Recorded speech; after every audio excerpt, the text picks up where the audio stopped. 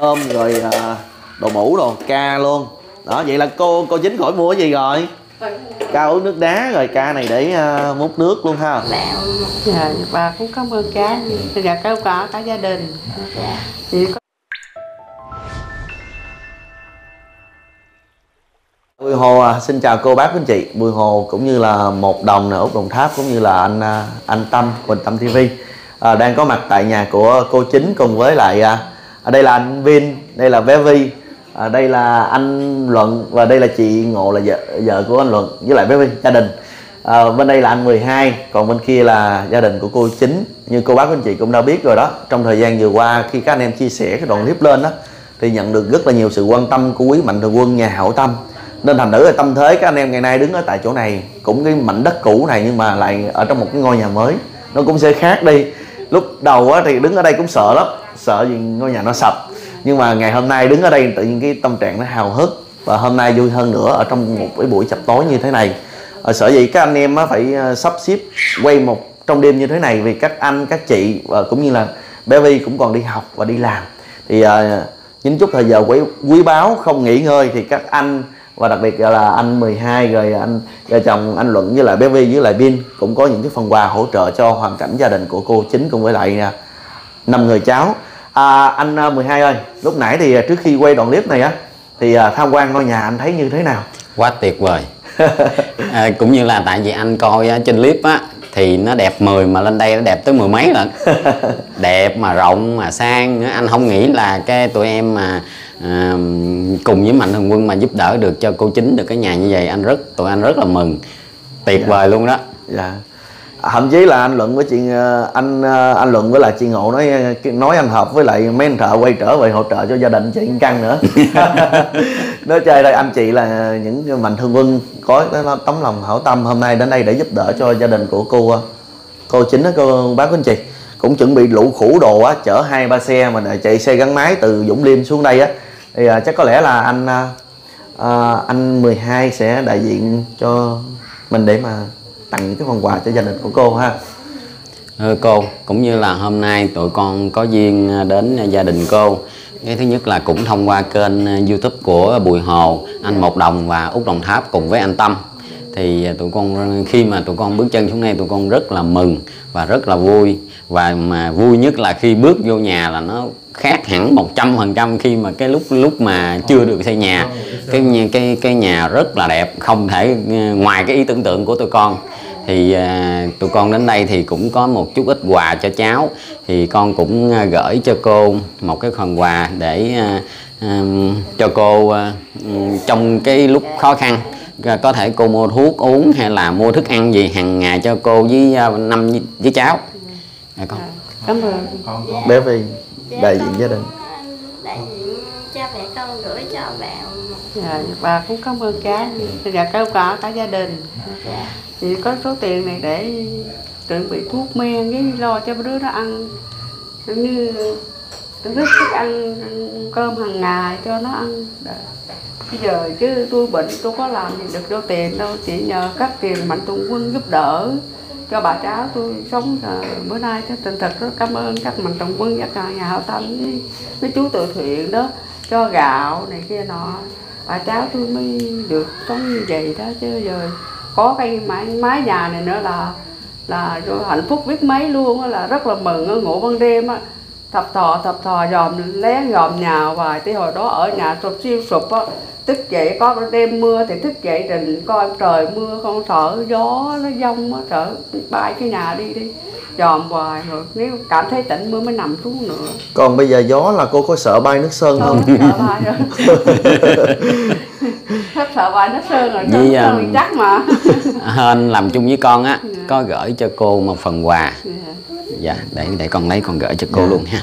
Trong lúc mà đợi anh 12 cô bác anh chị à, anh một đồng cũng có thể quay kìa. Nhìn cô tự nhiên nuôi năm người người cháu á. Nhìn thấy xúc động ghê cô bây giờ thậm chí là vì cái cực khổ quá cơ cực quá thành thêm cái bệnh trong người nó nhìn nheo nhóc nhìn thương ghê. Hên Dạ. làm chung với con có mua một ít đồ gửi cho cô. Dạ, chị cảm ơn. Dạ rồi nói chung là cái mấy cái này là cũng của ờ, tụi con luôn. Con gửi cho Dạ. cô để ờ, vật dụng để xài thôi. Để để để để da, ây da. để tháo ra cho- cô bác anh chị thấy nè. Đầy đủ hết á. Đây là kem đánh răng này nha. Đó, kem đánh răng này đánh ờ, răng nửa năm. Đây là bàn chảy ờ, đánh răng. Đó tuyệt vời không? Đây là nước tương nè. Hôm nay thì à, anh hơn thì lại không có đi theo đồng hành cùng với anh 12 à, bột ngọt đường nước mắm dầu ăn nguyên một túi luôn. Đó, bác cái này là nè. vật dụng để xài. Tại bùi hồ tò mò lắm là đỡ cái nào mở ra coi nữa đó bên đây ha. Đây là cái à, cái sọt đựng sầu bông đồ đó. Đó. Để cho cô bác quý anh chị tại vì khi mà mình mình mở ra như thế này á để coi cô bác quý anh chị khi mà có cái tấm lòng ủng hộ á thì những cái này phần này có sẵn hết à. Đây là gỗ gỗ với lại thao rửa rau củ ha. Thịt rồi luôn đây gồm có nhiều đồ nhôm rồi à, đồ mũ đồ ca luôn. Đó vậy là cô cô chính khỏi mua cái gì rồi? Ca uống nước đá rồi ca này để à, múc nước luôn ha. Đó nhiều quá trời nhiều luôn rồi. Tặng gì cho em đi. Bé tặng cho em đi à Duy về Trinh Trinh phải không con? Trên con bước qua chị uh, Thúy đi con. Chị Duy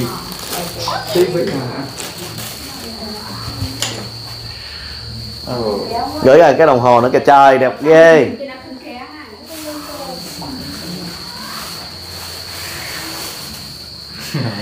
Để cô đeo vô cho con. Con biết coi đồng hồ coi giờ không?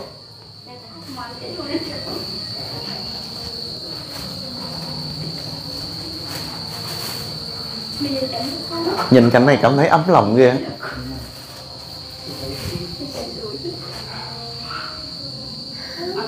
Ờ, cao ghê ha. Cao ghê hả? Rồi mấy đầu cột tóc của chị mua cho có đồ chơi luôn có mấy đồ cột tóc. rồi đây là quần áo luôn nha cô ờ, cô chính. Quần áo nhiều lắm cho mấy bé nhiều lắm. Đầy đủ đồ dùng hết à. Còn bên đây là giày dép đúng dép rồi. cho Trinh á. Cho bé trinh. Ừ. đó đây là cũng quần áo luôn nè. Ồ quà quá trời nhiều luôn rồi. Mọi người ganh tị á không mấy tuổi rồi. Thôi ba tuổi. Không còn đó không đi học luôn. Dạ. nhưng mà ừm, các bé thì mẹ bỏ đi hết rồi. Còn lại có ba mẹ nhưng mà năm cháu là ba mẹ khác nhau. Chỉ liên hệ với lại được một người mẹ ở Sài Gòn thôi. Còn hai người mẹ kia coi như là không có liên lạc được Thảo. Thảo. Thảo mà chưa đồng điện á nó cũng ôm con về bỏ cho tôi hỏi lúc ba người gái đó. Rồi em có mấy người này sao? Với Dạ. người này thì cũng vợ chồng đi ăn vợ đó. Tại cái đi thêm một bước nữa rồi cái bên chồng nó ở làm ăn gì chứ không? có tới nuôi con cái có một bé đi học? Dạ, dạ, cái đi thành phố rồi đi tức vậy luôn chứ không có về. Là ông không có về đây luôn. Mà lâu rồi không có về. Trên hai năm rồi không có thấy người nào về. Cũng không có liên lạc được.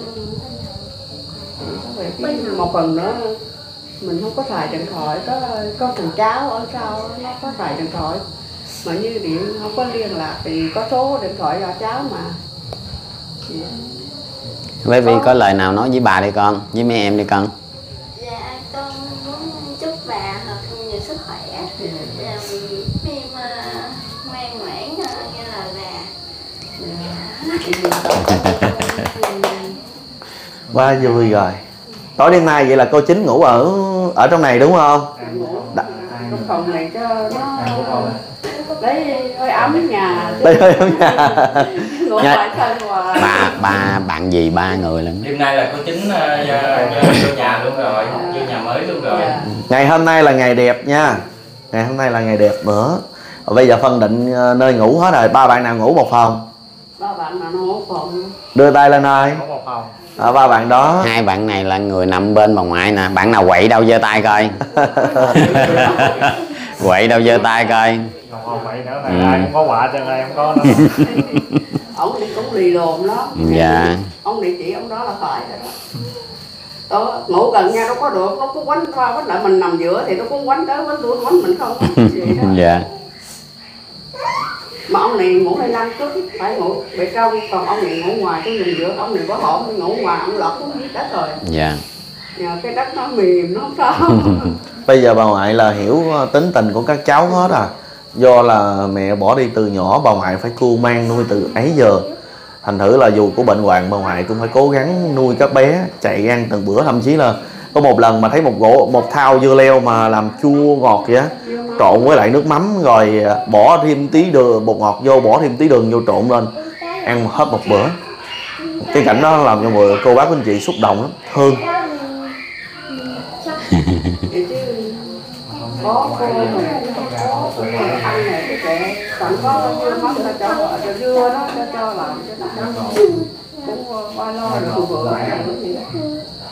nó ăn lo vừa ăn nó cũng ăn qua cũng qua cho mắm không đứt mà. Nó có biết cũng ăn đó không? Không có sức khỏe hết cần cái yêu cầu nó nó có ăn nó no là được rồi. Không không luôn à, tí xíu nữa thì à, mình à, sẽ dẹp cái phần này vô cho nó gọn Dạ. để ngày mai cô cô chính có thể còn máng lên nữa. Rồi cái nào đồ nào sử dụng mà mình phân ra. Còn bây giờ chắc có lẽ là cho các anh à, tham quan các phòng cũng như là quay cho cô bác anh chị thấy ờ, cái phần uh, mùng mền chiếu gối á cái phần mền nè rồi gối nè rồi mùng nè nệm nè. Bếp ga ngày hôm nay được sự hỗ trợ của chú Ken Vinh Trần ở Mỹ. Ờ, ngày hôm nay mua xong thì ở clip sau thì Bùi Hồ cũng sẽ thống kê công bố luôn. Ha cô bác anh chị ngày mai này mới bàn giao nhưng mà các bé nó ham quá gặp chưa gặp mới giờ dán chưa có lau xong là lăn lóc ở trong này chơi. Thành nữ là cũng đâu ba bạn nào đi theo vô cái phòng nào đâu cho chú cái chú xem ơi. Hồi chiều giờ dẫn cát lắm đúng không? À, đây nè. Hồi chiều sắp gọn sạch đẹp lắm. Cái phòng này à, thoáng ha 12 ha. Ờ, thoáng mà rộng. Dạ. Em nghĩ là để cái tấm niệm như thế này cũng cho gọn cho bà quét dọn nè. Đúng không chứ bây giờ mình để thêm một cái giường nữa thì nó bị nó bị chẹt. Nó bị chẹt mà sau này cái cái cái cái việc bà quét dọn nó cũng cũng khó anh 12 đây có 6 cái gói mỗi bên là ba cái gói đó đó cửa. Đó. tối thì khóa lại. Có tối cũng có cái đèn ngủ cô bác anh chị khi mà tắt cái đèn lớn này đèn ngủ nó sẽ tự động cảm ứng. Đó ba cái niệm cái niệm này là ba người ngủ vừa các bé ngủ vừa mà theo anh 12 thì mình có nên để đặt cái giường vô đây không? Cái giường cây vô đây em không? thấy vậy là rộng rồi đó hồi Dạ. vậy là được rồi đó. Ừ. với bé nó dễ thí dụ nó có giỡn gì nó cũng không sao. Đúng rồi. Ừ. à để vậy đi nó gọn. Đẹp quá trời ha. Dạ. Ai lựa? Em lựa hả? Em lựa luôn. Rồi bên đây nữa nè. Hai cái niệm. Nhà này thì sáng lắm. Thành nữ dán gạch các bé chơi nè. Kia ừ. trời ơi. Tối nay cho chú ngủ đây với nha nha cho không? Chú chưa bao giờ được cái niệm này chú ngủ nè. Rồi sao? Cho chú ngủ đâu? Có miếng ga luôn. Nhưng mà làm sao mới mốt phải mang dép? Mới nha đây là vô là dành chỗ nằm trước rồi đó thấy không? Được không? Cho tối nay cho chú ngủ đây nha. Chú không có nhà cho chú ngủ đây nha. Cho nằm đâu? Chú nằm đâu? Nằm cái con hả? Như con mèo á. Các bé cũng ít giao tiếp Ừ. nên là nữ à, khả năng nó cũng ngại nói chuyện. Ừ. anh biết không cái chỗ này là ngay tại cái vị trí mà cái giường cũ đặt của ba bà cháu ngủ luôn. Và lúc đó thì cái giường em mới vừa quay cái cái, cái mầm của cái giường nó rớt xuống. Trời nó lắc lư cái chân như bà già rụng răng. Kinh khủng lắm. Và lúc đó thì à, khi mà mưa á, là cô chính là phải lôi năm đứa cháu qua hành lang nhà kế bên đỡ. À, hôm nay khác rồi tâm thế khác lắm rồi. Quá trời khác luôn hồ dạ. Anh không tưởng tượng luôn á. Quá trời đẹp luôn. Dạ. Nhất là sẽ phối hợp giữa gạch nè rồi lao phong nè rồi cái màu đằng trước nữa. Phối hợp rất là đẹp. Hôm nay anh 12 có bất ngờ không? Tại vì anh 12 chỉ coi qua clip thôi chứ chưa có gặp tận mắt. Thì bây Đúng giờ rồi, anh quá bất ngờ luôn á. Ngoài ngoài tưởng tượng của anh luôn. Đẹp quá trời đẹp luôn. Dạ. Mà hôm nay á, là không biết như thế nào nha nhưng mà lúc mà anh hợp á bàn giao ngôi nhà thì anh hợp muốn rơi nước mắt. Chắc à, anh hợp mà người ta khi mà giao nhà làm thấy đẹp ưng ý quá khóc cái gì. Mừng. mừng rơi nước mắt luôn. Anh còn bất ngờ mà. Lúc anh mới bước vô trời nói nhà gì đẹp dữ trời. Dạ dễ thương anh ờ ha nó dễ thương. Anh lớn anh nói là thôi tôi chỉ cần nửa căn nhà này thôi. Quá trời đẹp luôn đằng sau cũng rộng. Dạ không gian này thoáng anh ha. Rồi nó xuống đây là mát nè xuống đây cái nó mát liền Ờ, nè. cái gió đằng sau Ừ. tới nè. Cảm giác cực kỳ mát luôn. Lúc trước là tụi em là định để cái cửa sổ bên đây nè. Nhưng mà cửa sổ này ví dụ như người ta có cắt nhà rồi á mình kéo ra khó. Mà gió lấy từ đằng sau tới thì nó hay hơn. Mà không gian này mấy bà cháu mà dọn ra ngồi đây là ăn cũng được. Đúng rồi rộng mà. Ờ, chú nói là dự định là mua cho mấy mấy bé là cái cái bàn để ngồi ăn. Nhưng mà mấy bé ở đây á nhỏ quá ngồi trên bàn ăn rồi đùa giỡn rồi cái em sợ là gì biết không? Có cái ghế ngồi á đùa giỡn rồi té ngã Trời, xuống gạch. Nên là nữ là chú Vinh Trần thì có gợi ý như vậy hôm nay thì cũng trả lời với chú là thôi thì cứ để cho các bé không gian này nó thoáng nó rộng. Một là dễ đùa giỡn nè hai là ngồi dưới này ăn cơm á. Thì các bé nó không giỡn nhau dù có giỡn nhau thì nó lỡ xô đẩy nhau cũng cũng không sao. Nhìn nói chung là ờ, rất là ưng ý tự nhiên cái mấy anh em cũng thấy vui vui. Và ngày hôm nay gặp được anh 12 có mặt tại đây thấy vui hơn. Nói chung là tụi anh rất là mừng luôn á. Khi mà kết nối được à, bốn cái kênh của tụi em á Dạ. anh rất là mừng. Anh giúp được một cái gì đó của mình để à, hỗ trợ cho bà con ở đây. Anh mừng lắm à, hồi hồi trưa em điện là cỡ nào anh cũng phải xuống hết á. Dạ. Bận công việc gì anh cũng phải sắp xếp để xuống à, thăm gia đình của cô. Dạ. Cảm ơn à, bốn bốn em nhiều nha. Dạ. rồi khi nào có dịp thì anh em mình cứ alo gặp lại. Và ngày hôm nay thông tin với cô bác với anh chị là anh 12 cùng với lại à, gia đình của anh Luận với lại anh Bin á cũng đem xuống hai con vịt quay luôn chấm bánh mì nhưng mà thôi thì chắc có lẽ là anh em mình sẽ tặng cái phần này cho lại cho gia đình của cô à, cô chính để cho gia đình có sự riêng tư Dạ. để quay quần với nhau. Còn các anh em mình cũng đã biết sao không? cũng nó khuya rồi. Bây giờ cũng cũng gần 8 giờ rồi. Ờ, anh còn phải đi à, đi về lại Vĩnh Long nữa. Đường quốc lộ này thì đường cũng khá là hẹp. Nên là nữ là mình sẽ ngày mai cũng phải đi làm nữa. Đó nên là bác sĩ mà ngày mai cũng phải đi làm làm nữa mà nên là nữ chia sẻ thêm cái hình ảnh này cũng rất là vui nhưng mà thôi chắc có lẽ vậy hên thôi rồi em dạ để cho cũng ờ, thay mặt cho gia đình của cô chính nè rồi cô út nè chân thành cảm ơn ờ, anh anh hên rồi ờ, vợ chồng của anh luận cũng như là anh bin đã đồng hành với tụi anh em của tụi em để mà hỗ trợ hết mình những cái hoàn cảnh như thế này. Đây là những cái món quà không những quý giá về mặt về mặt vật chất mà nó còn là về mặt tinh thần vì những hoàn cảnh như thế này, họ nhìn thấy được rằng được sự yêu thương giúp đỡ chứ không phải là khi mình khổ là người ta sẽ bỏ mình. Mà khi người ta lao động mà hết khả năng không có thể vượt qua được thì cần sự chung tay của anh cũng như là tất cả các cô chú, quý anh chị, quý mạnh thường quân. Chia sẻ đoạn clip này cũng lan được những cái thông điệp rất là yêu thương, rất là dễ thương. Vì đâu đó ừ, mọi người lại gắn kết nhau hơn, yêu thương nhau hơn và đặc biệt là cộng đồng người Việt cũng như là tất cả các cô chú, anh chị nữa thấy cảm thấy mình được hỗ trợ kịp thời. Chứ không có ờ, mạnh thường quân không có anh đâu chắc khổ dữ rồi. Những hoàn cảnh khó khăn thì khổ dữ rồi. Rồi dạ anh có muốn nói lời nào không? Rồi um, thì à, hôm nay cũng à, được à, sự kết nối của à, Bùi Hòn nè Tâm nè à, Một Đồng nè Úc Đồng Tháp.